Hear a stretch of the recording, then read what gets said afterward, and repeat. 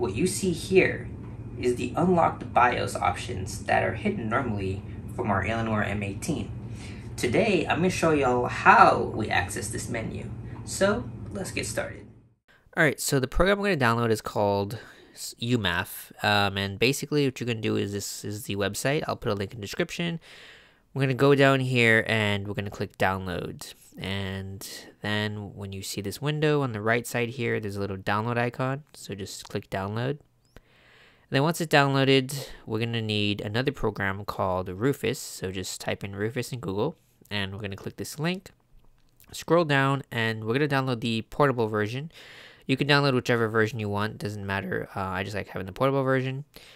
And then we're going to extract the folder we downloaded earlier. So just extract this.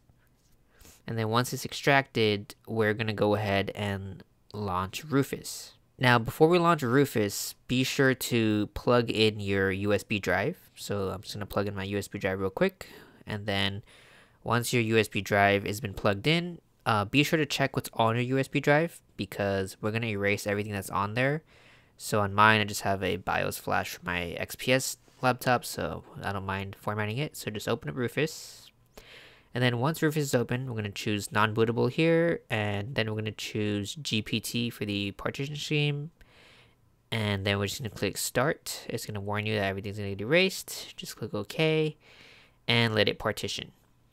Once it's done, uh, just go ahead and open the folder here and Control A to select everything and Control C and just Control V it onto the USB root. So now I'm just to go ahead and eject the USB and we'll boot up into the BIOS. Alright, so now we're to turn on the computer and we're to hold F2 because we need to go into the BIOS and we need to turn off secure boot so that we can boot from the USB. So we're to go to boot configuration here and then once you come to boot configuration, you will see down here, there is a secure boot section. So basically we're gonna turn off secure boot. And once that's off, we're gonna exit and boot by pressing F12 from the USB.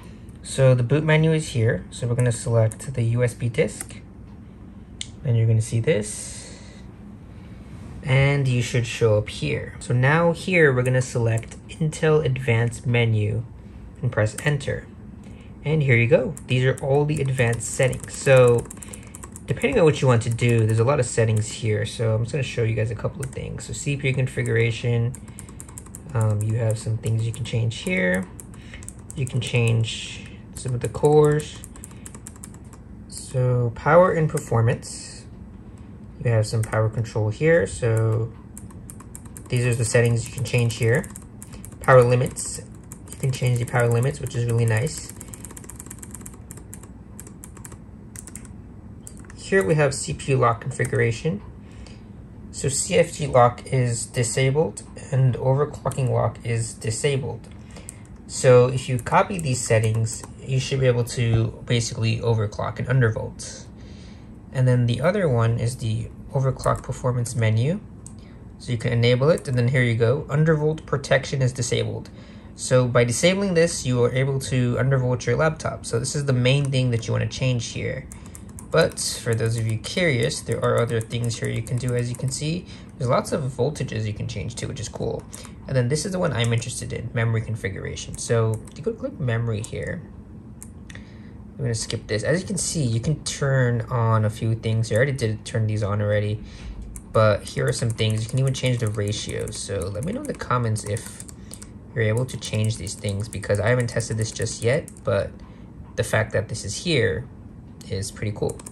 So yeah, once you're done with everything, you can just get out of here and you can basically continue to boot by clicking this button. Well, I hope that helped you. Now, this was obviously the easy way of doing things, and it doesn't work on a lot of computers. For instance, my 9th generation Alienware Area 51, this doesn't show any advanced menu my 12th generation X14, it doesn't show any advanced menu. So it works on 13th gen, it works on AMD laptops, it should work on most modern laptops hopefully. Let me know in the comments if it doesn't.